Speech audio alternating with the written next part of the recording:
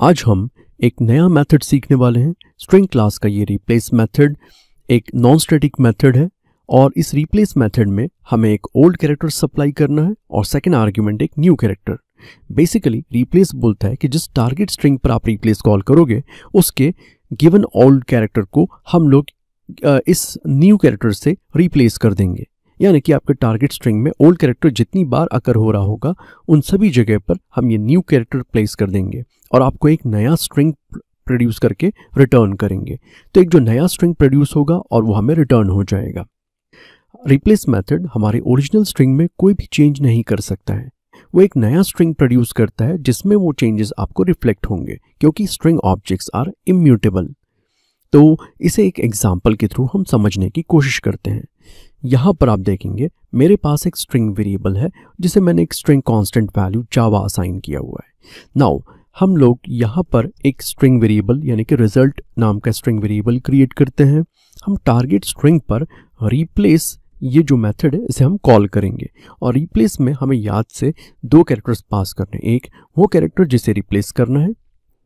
Second वो character जिससे हमें इस कैरेक्टर वैल्यू को रिप्लेस करना है। सपोज़ हमने कहा ओ तो जहाँ जहाँ पर हमारे टारगेट स्ट्रिंग एसटीआर में टारगेट स्ट्रिंग एसटीआर में जहाँ जहाँ पर ये old character value is found होगा, वहाँ वहाँ पर ओ ये वैल्यू रिप्लेस हो जाएगी। नाउ तो अब हमें इससे एक रिजल्टेंट स्ट्रिंग वैल्यू रिटर्न होगा। हम उस रिज़ल्ट स्ट्रिंग वैल्यू को एक रिज़ल्ट स्ट्रिंग वेरिएबल में हमने होल्ड कर लिया है। और नाउ इन दोनों स्ट्रिंग्स को मैं प्रिंट करके दिखाना चाहता हूँ कि जो ओरिजिनल स्ट्रिंग वैल्यू एसटीआर है, वो तो वैसा ही है और यहाँ पर इनको आपस में कंपेयर भी करेंगे, जिससे कि आपको पता चलना चाहिए कि जो रिप्लेस मेथड है, उसने ओरिजिनल स्ट्रिंग में कोई चेंज नहीं किया है और एक फ्रेश न्यू स्ट्रिंग हमें क्रिएट करके रिटर्न किया हुआ है। तो जो नया रिज़ल्ट स्ट्रिंग होगा, वो क्या होगा? जो वो, क्योंकि जहाँ जहाँ ए था, वहाँ पर क्या रिप्लेस हो गया? उसकी जगह ए की जगह ओ तो यहाँ पर हम इस, ये सी डॉट जावा इसमें मैंने क्लास सी डिफाइन किया। नाउ अब हम लोग सी डॉट जावा एग्ज़ाम्पल को कंपाइल करते हैं और हम इस सी क्लास को रन करेंगे। तो जो ओरिजिनल स्ट्रिंग है, उसमें कोई चेंज नहीं हुआ है। एक नया स्ट्रिंग प्रोड्यूस हुआ है। उस नए स्ट्रिंग में आपने देखा, हमने प्रीवियस करेक्टर ए को रिप्लेस कर दिया है। और आप देख सकते हैं, एक फ्रेश न्यू स्ट्रिंग क्रिएट हुआ है। इस एग्ज़ाम्पल को मैं आपको दोबारा रन करके दिखाता हूँ। इमेजिन अगर हमने जो कैरेक्टर सप्लाई किया है, यानी कि जो कैरेक्टर से रिप्लेस करना है, वो भी ए है। तो रिप्लेस बोलता है, आपने तो वही सेम कैरेक्टर दे दिया है। ऐसा करने पर तो मैं कोई चेंज नहीं कर पाऊँगा, क्योंकि वो तो ऑलरेडी ए है। तो इस तरह से रिप्लेस बोलता है कि मैं आपको वही ओरिजिनल स्ट्रिंग जिस पे आपने रिप्लेस कॉल किया रिटर्न कर दूँगा।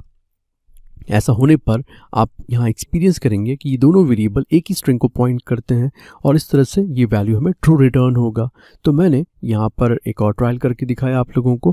पहले हमने ओ के साथ करके दिखाया था। मैं स्टेटमेंट को कमेंट कर देता हूँ और अब हम लोग जो कैरेक्टर वैल्यू है, वहाँ पर हमने सेम कैरेक्टर लिखा हुआ है। हम एग्ज़ाम्पल सी को दोबारा ट्राई करते हैं। मैंने कंपाइल किया और नाउ हम इस कोड को रन करेंगे। आप देख सकते हैं कि कोई चेंज हुआ ही नहीं, इसीलिए उसने हमें ओरिजिनल स्ट्रिंग ही रिटर्न किया और इस तरह से S T R R E S दोनों स्ट्रिंग वेरिएबल एक ही स्ट्रिंग ऑब्जेक्ट को पॉइंट कर रहे हैं और इसलिए उनका कंपैरिजन का रिज़ल्ट ट्रू आया। तो यहाँ पर हम लोगों ने देखा कि रिप्लेस मेथड कैसे वर्क करता है। नेक्स्ट वीडियो में मैं आप लोगों को रिप्लेस का एक और वर्जन दिखाऊँगा।